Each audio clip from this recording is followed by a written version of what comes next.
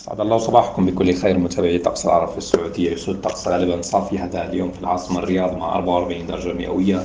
الملموسة 39 والرطوبة منخفضة. أما الرياح تكون شمالية غربية خفيفة السرعة التوقعات الجوية لباقي مناطق المملكة المدوى شمالا تبوك طقس صافي 37 إلى 23 نفس الحرارة في سكاكا. أما عرعر تسجل 38 إلى 23 المنطقة الغربية المدينة المنورة طقس حار 23 43 عفوا إلى 29 جدة 41 إلى 28 مكة المكرمة 42 إلى 30 والطائف 34 إلى 25 المنطقة الجنوبية الغربية الباحة زخات رعدين من الأمطار مع ساعات ما بعد الظهيرة والعصر 33 إلى 26 أبها 34 إلى 21 وجازان 35 إلى 32 المنطقة الشرقية طقس حار في عموم تلك المنطقة دمام تسجل 45 إلى 30 حفر الباطن 45 إلى 34 والإحساء 47 إلى 29 المنطقة الوسطى حائل 37 إلى 22 بريدة 43 إلى 27 والرياض 44 إلى 30 إلى اللقاء.